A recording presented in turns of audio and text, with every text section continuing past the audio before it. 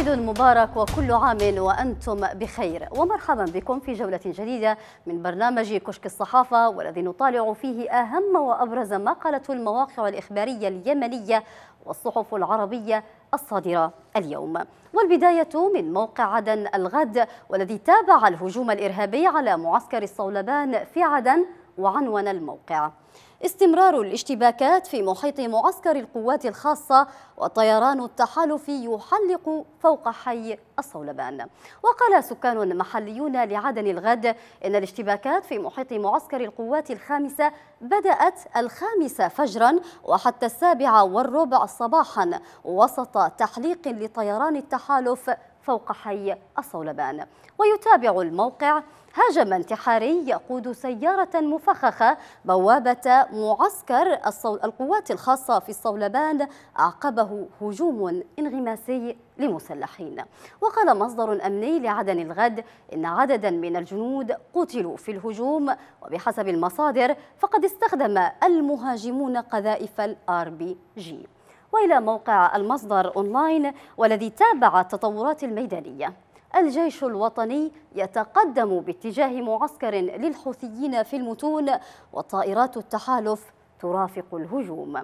وقال مصدر محلي في محافظة الجوف إن مقاتلات التحالف استهدفت بثمان غارات مواقع وتعزيزات لميليشيا الحوثي وصالح شمال مديرية المتون بعد محاولتهم شن هجوم باتجاه مواقع الجيش والمقاومة مساء الثلاثاء.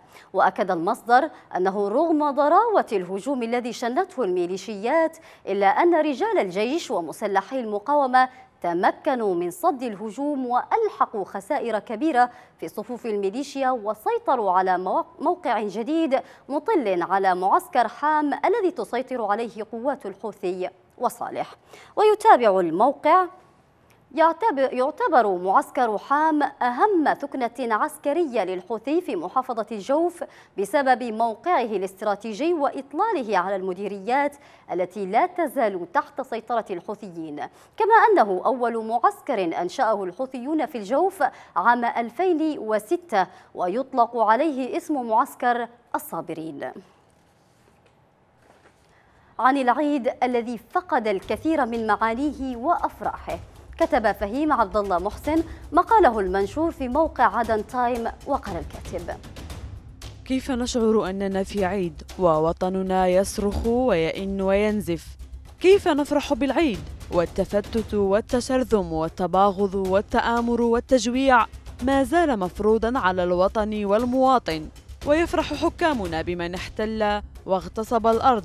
واغتال وذبح وقتل وشرد البشر ودمر الشجر والحجر ويداه ملطخة دون عقاب بدماء الأبرياء.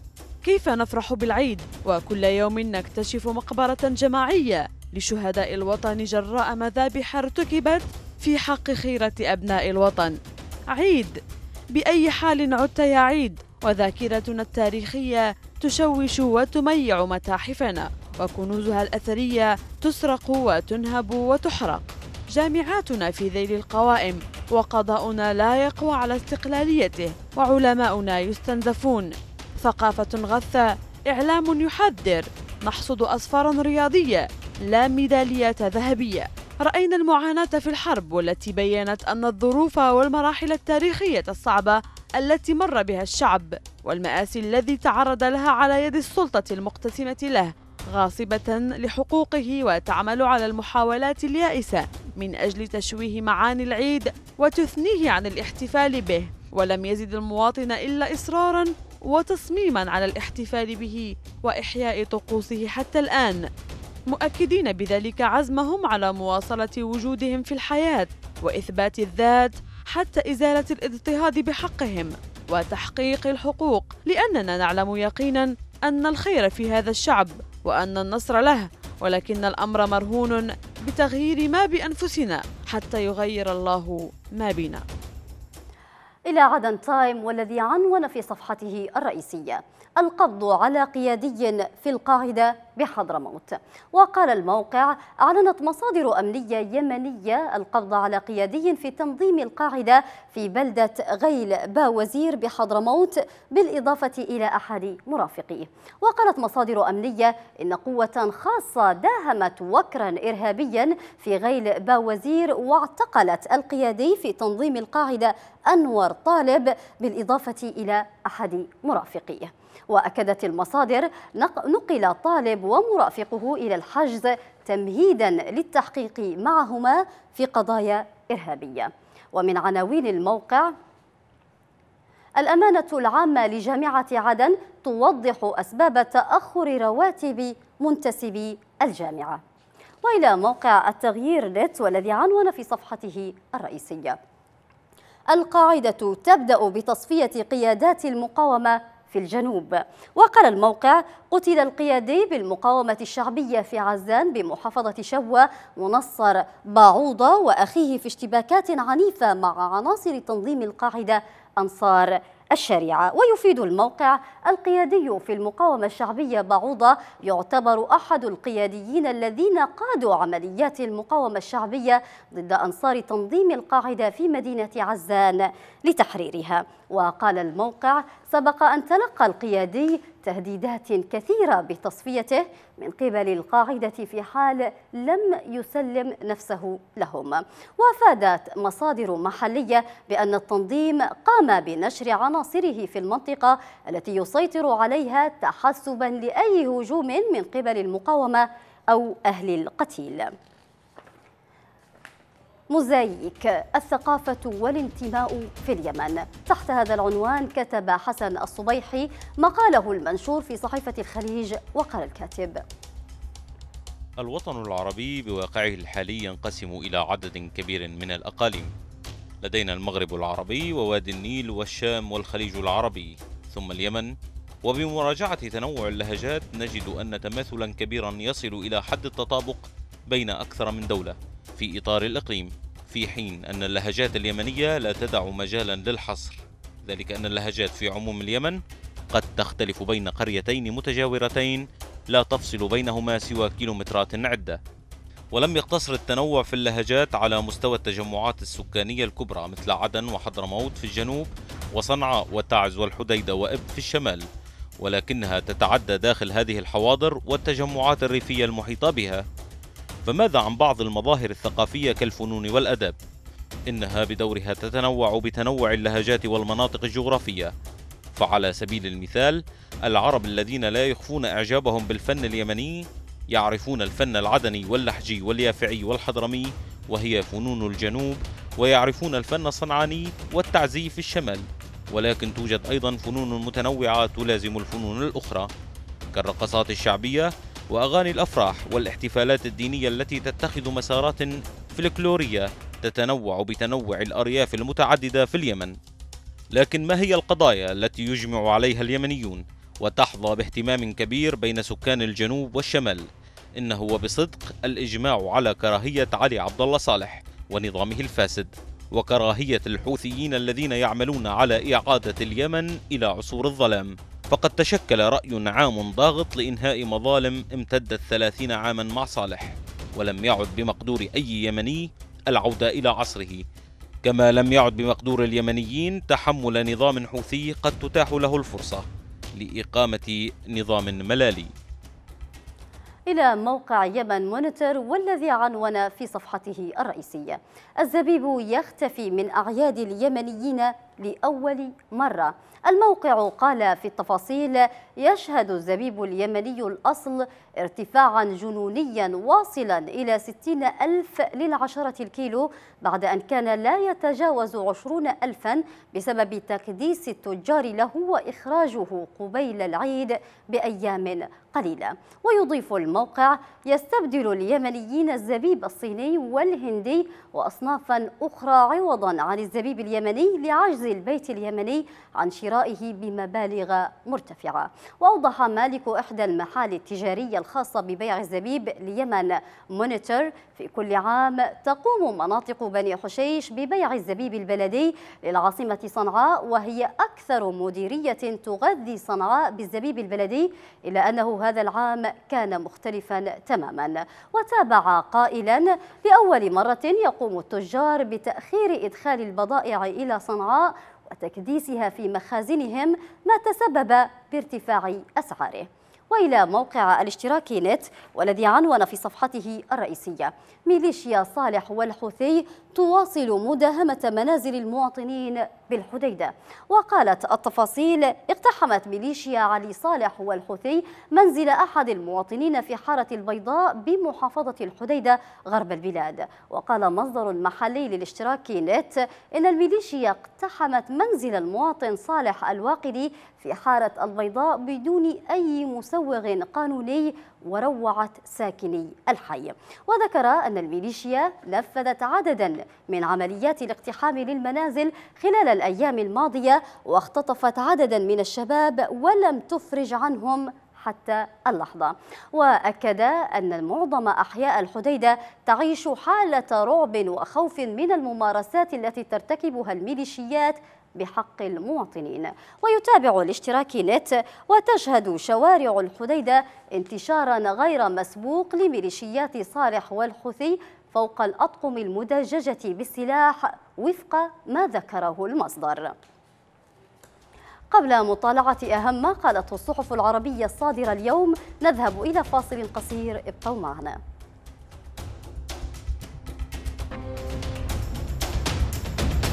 نعاود الترحيب بكم مشاهدينا الكرام ونصحابكم في جولة بين أهم ما قالته الصحف العربية الصادرة اليوم والبداية من صحيفة الخليج والتي تابعت المجزرة التي ارتكبتها الميليشيا في حق أطفال مأرب وعنونت الصحيفة. مقتل سبعة أطفال في مجزرة بصواريخ الحوثي عشية العيد في مأرب. وتقول الصحيفة في التفاصيل ارتكبت ميليشيات صالح والحوثي الانقلابية جريمة مروعة جديدة. وقبل ساعات قليلة من موعد إفطار آخر يوم في شهر رمضان بحق 15 طفلا في محافظة مأرب. وقالت مصادر محلية إن سبعة أطفال قتلوا وأصيب عشرة آخرون في انفجار صاروخ كاتيوشا. أطلقته الميليشيات على حي زراعة بضواحي مدينة مأرب عاصمة المحافظة. وأوضحت المصادر أن الصاروخ انفجر وسط عدد من الأطفال كانوا يلهون عصر أمس عشية عيد الفطر في حي الزراعة السكني. وإلى صحيفة العرب الجديد والتي عنونت أعياد اليمن أفراح مؤجلة. وتقول الصحيفة يحل عيد الفطر على اليمنيين وسط غياب مظاهر الفرح التي ترافق الأعياد عادة بسبب الظروف بالغة السوء التي نتجت عن الحرب المستمرة منذ عامين في البلاد والتدهور الاقتصادي الحاد. وتفيد الصحيفة هذا العام الأسر اليمنية الأكثر فقرا ليست وحدها العاجزة عن تأمين حاجيات العيد إذ أن عشرات آلاف من الأسر ذات الدخل المتوسط لم تتمكن من توفيرها. وتنقل الصحيفة عن أحد المواطنين قوله أسوأ الأعياد في حياته حيث يعتمد على راتب شهري أن حيث أعتمد على راتب شهري أنتظره ولم يأتي. تتابع الصحيفة لا يكترث النازحون في المخيمات أو المؤسسات الحكومية بالعيد فالأيام متشابهة بالنسبة إليهم ولا يختلف يوم العيد عن أي يوم آخر. صحيفة عكاظ السعودية عنونت. مقتل قيادي حوثي والمقدشي دخول صنعاء قرار سياسي. تقول التفاصيل قتل قيادي حوثي بارز في محافظة الجوف في الوقت الذي يواصل فيه الانقلابيون خرق الهدنة واستهداف المدنيين في تعز وبقية المدن اليمنية. وقال مصدر محلي القيادي الحوثي علي بن حسن بن نسعى قتل بطلق ناري غربي مزرعة الورش بمديرية المتون في المحافظة. وهو ثاني قيادي حوثي يقتل في المنطقة ذاتها خلال أقل من أسبوع. وفي غضون ذلك أكد رئيس الأركان اليمني اليمني اللواء محمد علي المقدشي أن قوات الجيش اليمني في كامل استعداداتها لدحر الميليشيات وتنتظر قرار القيادة السياسية. وطمأن المقدشي سكان صنعاء بالقول إنه تم الإعداد بشكل موسع ودقيق لتجنيب عاصمة اليمن الخراب والدمار. وسيعرف, وسيعرف ذلك في حينه. وأشار إلى أن المتمردين الحوثيين لن يلتزموا بأي اتفاق كما هي عادتهم. وحاولوا استغلال فترة المفاوضات اليمنية في الكويت لكنهم فشلوا. سنوات الصراع بين الوطنية والطائفية. تحت هذا العنوان كتب عاطف الغمري قاله المنشور في صحيفة الخليج وقال الكاتب. في ظروف هذا العصر وتفشي ظاهرة المنظمات التي ليست دولا ولا تلتزم بالقانون أو بالمعايير القانونية الدولية فقد صعدت قيمة الركن الأساسي في قوة الدولة ومكانتها وهو القوات المسلحة التي تجاوزت مهامها في حماية الحدود إلى حماية الداخل من جماعات العنف المسلح. وفي تحليل لهذا الجانب فإن البروفيسورة توبي دوج أستاذة العلاقات الدولية بجامعة لندن للاقتصاد والعلوم السياسية كتبت دراسة استشهدت فيها بالعراق كنموذج وقالت إن فشل بغداد في ردع تقدم داعش يفهم جيدا على ضوء دراسة الطرق التي اتبعتها الحكومات التي حكمت العراق منذ العام 2003 والتي قوضت بشكل منظم كل ركن من أركان بقاء الدولة وخلقت أزمة تسببت في انهيار العسكرية العراقية. كل هذه الأسباب أضعفت من الروح الوطنية خاصة بين القوات المسلحة وظهر ذلك بقوة في تنامي المشاعر الطائفية التي من شأنها أن تمزق أواصر التماسك المجتمعي في إطار دولة وطنية يجمعها الانتماء لوطن له عندها الأولوية قبل تغليب المشاعر الطائفية والفئوية. إن إثارة النعرات الطائفية وإضعاف مفهوم الدولة الوطنية الحاضنة لكل مكونات الدولة لم يأتي مصادفة لكنه كان مخططا ضمن حسابات قوى كبرى لاستمرارية سيطرتها على مناطق إقليمية تحتوي مصالح استراتيجية لها وكانت هذه القوة قد أطلقت في بداية التسعينات حملة ترويج لفكرة نهاية عصر الدولة القومية ومبشرة بالتقسيم إلى قوميات متعددة ومنفصلة. في هذا الوقت كانت هذه القوى الخارجية قد رصدت تصاعدا داخل الدول الإقليمية في التخطيط لتحقيق تقدم داخلي فعلي يمكن أن يضعها في وضع المنافسة مع الكبار. وإلى صحيفة القدس العربي والتي تابعت الشأن اليمني وعنونت. جنود موالون لعلي صالح يتظاهرون ضد الحوثيين لدفع مرتباتهم متهمينهم بالفساد ونهب المال العام. تقول الصحيفة في التفاصيل احتج العشرات من الجنود الموالين للرئيس السابق صالح في دمار وقطعوا الطريق الرئيسي في المدينة احتجاجا على عدم صرف أجورهم من قبل جماعة الحوثيين التي تحكم سيطرتها على المحافظة. وقال مصدر محلي إن الجنود المنتمين لقوات الحرس الجمهوري سابقا والتي كان يقودها نجل صالح قطعوا شارع تعز وسط المدينة ومنعوا مرور المركبات فيه. وأضاف المصدر رفع المتظاهرون شعارات تطالب جماعة الحوثي بالرحيل عن المحافظة واتهموا مسؤولين في السلطة المحلية وقياديين في الجماعة بالفساد ونهب المال العام تحت ذريعة التصدي. للعنوان. للعدوان وإلى صحيفة السياسة الكويتية والتي عنونت.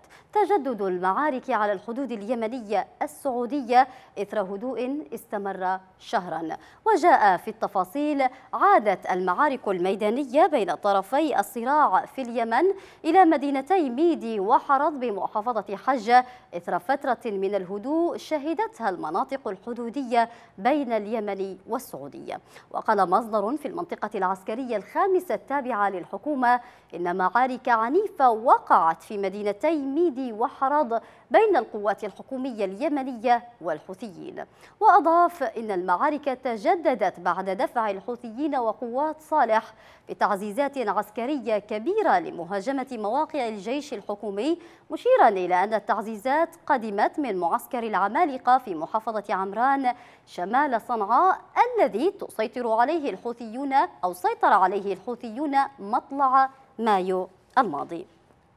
وإلى صحيفة البيان الإماراتية والتي عنونت في إحدى صفحاتها التمرد الحوثي يصاعد اعتداءاته في العيد. تقول الصحيفة في التفاصيل نقلا عن مصدر عسكري إن الجيش الوطني صد هجوما للميليشيات الانقلابية استهدف مواقعه في أكثر من جبهة. تضيف الصحيفة تواصلت المواجهات بين الميليشيات والمقاومة في حي الزنوج وفي محيط معسكر الدفاع الجوي شمال وغرب مدينة تعز في حين قصفت الميليشيات حي ثعبات جنوب شرق المدينة وبعض الأحياء الغربية للمدينة.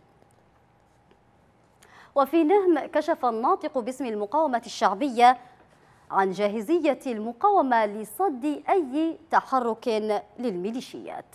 وإلى صحيفة الحياة اللندنية والتي تابعت الأحداث الأخيرة في عدن وقالت الصحيفة ستة قتلى في تفجيرين استهدفا معسكر قرب معسكرا قرب مطار عدن حيث أعلن مصدر عسكري أن قاعدة عسكرية في خور مكسر قرب مطار عدن الدولي استهدفت بهجوم بسيارتين مفخختين ما أسفر عن سقوط ستة قتلى على الأقل. وقال المصدر إن المهاجمين فجروا سيارة مفخخة عند مدخل القاعدة ما فتح الطريق لآلية ثانية اقتحمت القاعدة وانفجرت في داخلها وذكر شهود أن اشتباكات اندلعت بعد ذلك بين الجيش والمهاجمين في القاعدة التي طوقتها القوات الحكومية ونقلت إليها تعزيزات. بهذا القدر من الصحف العربية نكون قد وصلنا إلى ختام حلقتنا لهذا اليوم من كشك الصحافة. إلى أن نلقاكم نترككم في أمان الله وحفظه. ودعونا نتابع معا مجموعة من رسوم الكاريكاتور.